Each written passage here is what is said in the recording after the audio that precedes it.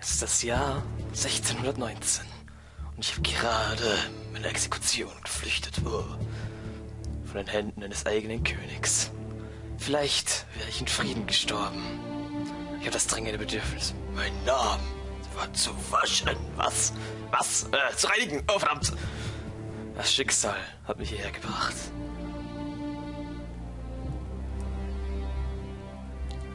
Viele nennen es neue Welt. The Romans nannten es Mars. Hallo Leute, und mit diesem Intro, das ich gerade total versaut habe, sehen wir uns in Jamestown, Legend of the Lost Colony. Ich bin Schattenboomer von SGU und wir sehen uns. Start Game! Ich werde dieses Spiel durchgehend auf Legendary spielen. Wie man sieht, habe ich hier schon alles durchgespielt. Einmal. Ich werde also nicht zu hart failen, hoffe ich jedenfalls. Und wir werden sofort das erste Kapitel nehmen, starten, whatever. Und ich werde nicht alles übersetzen, sondern es tatsächlich in der Originalsprache Englisch vorlesen. Wer Probleme haben sollte, Google Translator, hopp. Okay, also, schauen wir es uns an. East Frontier. At the edge of British territory, marching warriors, loyal to the conquistador, Vrecavo con settlers. Legendary. Nun, ich spiele mit Controller, wie man schon sieht. Und was wichtig ist, hier kann man uns eins von vier Schiffen aussuchen. Ich werde durchgehend. Ich werde. Ich weiß nicht, ob ich alle mal zeigen werde, aber ich werde vor allem mit den beiden hier spielen. Weil ich die einfach nur nutzlos finde.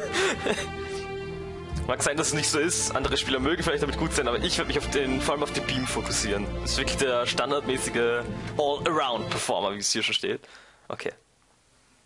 Chapter 1 War upon East Frontier, in which the settlement is arranged by bedankled Martians loyal to the Spanish. The villain appears!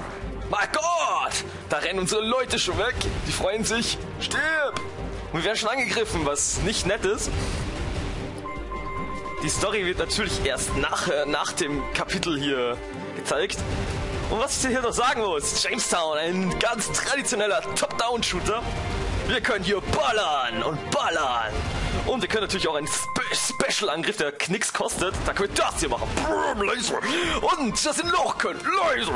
Und mit dem Laser können wir eventuell auch Gegner töten, äh, die sich außerhalb unserer Reichweite befinden. Was wir noch können, Laser, ist am. Ähm, mit der, oh, mit dieser Taste hier, wie ihr es gerade gesehen habt, können wir uns ein Schild kurzzeitig erschaffen was uns dann so leuchten lässt und uns dann höheren Schaden beschafft. Das heißt, wir machen tatsächlich enorm viel mehr Schaden. Dafür leert sich die Leiste da unten, was ungut ist. Deswegen versuchen es natürlich währenddessen nochmal aufzufüllen. Was das Problem dabei ist, es ist halt natürlich darum, viele Punkte zu sammeln, aber wir sind natürlich danach verletzlicher und können uns nicht beschützen vor Angriffen durch das Schild.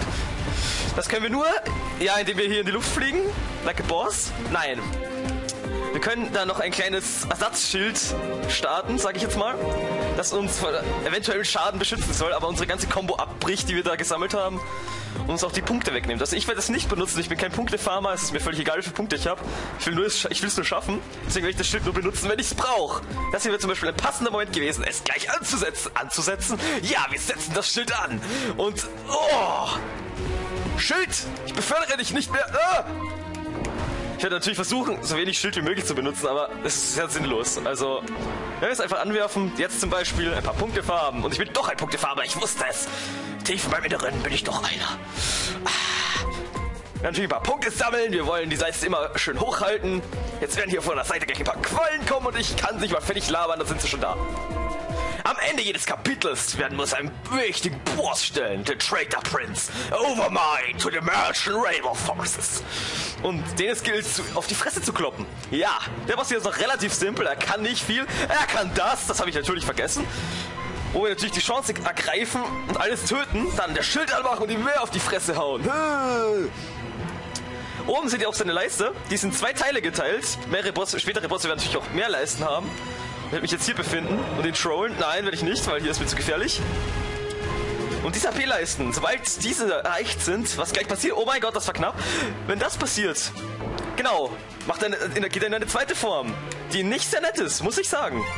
Dann, wenn wir das hier abblocken mit unserem Awesome-Schild, dann unser Mini-Schild benutzen, dann neu auffüllen und weiterballern. Der Boss ist wirklich nicht schwer, wie gesagt. Und ich fehle gerade ziemlich wahrhaftig. Oh mein Gott! Und dann machen wir uns fertig. Schild und Bäm in die Fresse. Ja, das war auch schon der erste Boss, das erste Kapitel von Jamestown. Und wir können dann der Story zuhören und wir haben 18.000 extra Punkte. Uh! Es reicht natürlich nicht für den maximalen Sterne, für das maximal Sterneanzahl, alter Konkurrent. Ich habe auch ein bisschen Geld übrig. Und dann werden wir jetzt auch diese Geschichte an. November, der 5. Es ist 19 Abend. Ah, ich wollte ja nicht übersetzen, oh. As we drove back the last of the allied Spanish-Belgian forces, we heard a distant bell cry through the smoke and dust behind us. Erupting dramatically from the clouds was none other than John Smith, this handsome fidget, posed dramatically as the pro of his ship. Hello!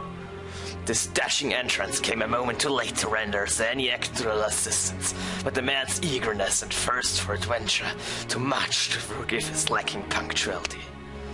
Having turned the tide of his frontier campaign against the enemy, his spirits were high, and he offered us lodgings for the night. Die Rede ist natürlich von uns. Over a bonfire, feast of roast pork and potatoes, Smith drew out a crude map of a place he and his men called the Dark Sector. Shrouded within foreboding clouds and tempestuous cyclones, he believes that this godforsaken place may hold the answers I seek. Our course will take us directly through territory controlled by the Spanish. Their conquistadors will want, will want vengeance after their losses here today. May some light find us in these dark and forgotten corners of the wilderness. We live at dawn. R. Wer ist dieser R? Hey, das will ich sein! Hey! Ja, Leute, das war der erste Part von Let's Play Jamestown, The Lost Colonies. Wir sehen uns das nächste Mal hier. Hier, genau hier, nein, da. Im Dark Sector. Den wir uns natürlich stellen werden. Und damit verabschiede ich mich auch bei meinem ersten Part von SGU. Auch wenn ich das gerade erst gesagt habe. Und ich sag's gleich nochmal. Wir sehen uns hier, genau da. Im Dark R. Genau so soll das heißen. See ya, Leute. Und bis zum nächsten Mal. Den nächsten Part könnt ihr oben finden, sobald er rauskommt. Den vorigen Part, das jetzt ziemlich dumm, es einen geben würde, könntet ihr normalerweise oben links finden. Was sehr schön ist. Deswegen, wir, äh, tschüss, äh, bye.